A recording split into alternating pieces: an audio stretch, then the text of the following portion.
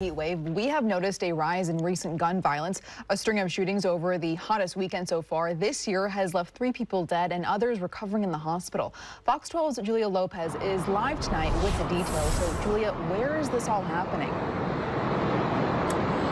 Well, the shootings this weekend we've seen have happened all across the city, unfortunately. Though the violence the past few days has mostly been concentrated here on Portland's east side.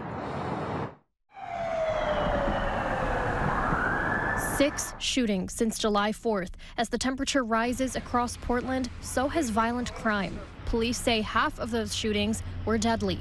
One drive-by early Sunday morning killed one person and left a teenager hospitalized. When we left, police section caution tape this whole area off. On Southeast 9th Avenue between Ankeny and Ash, police responded to shots fired just before 1:15 a.m. Sunday. When they arrived, they found two people hurt. They were both taken to the hospital where one victim died and the other, a 17 year old, is still recovering but expected to survive.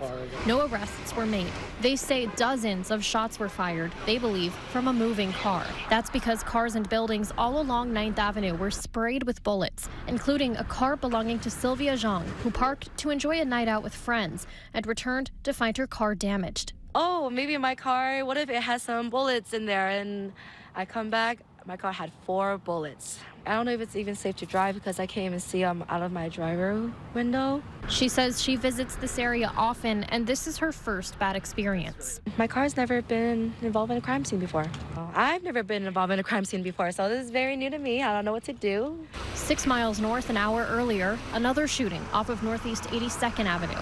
Police found a body in the parking lot of the Madison Suites Motel around midnight Saturday. No arrest was made.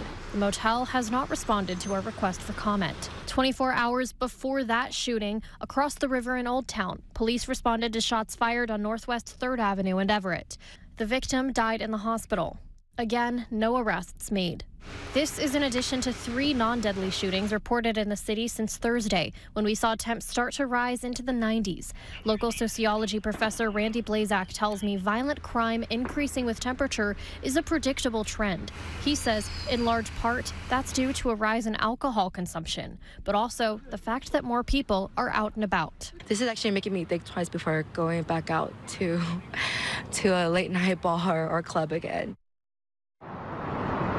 If you have any information about any of these shootings, you're asked to contact Portland Police. Live from Southeast Portland, Julia Lopez, Fox 12 Oregon.